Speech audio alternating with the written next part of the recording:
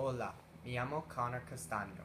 Soy de Long Beach, California. Yo estudio en la secundaria de Dana Hills.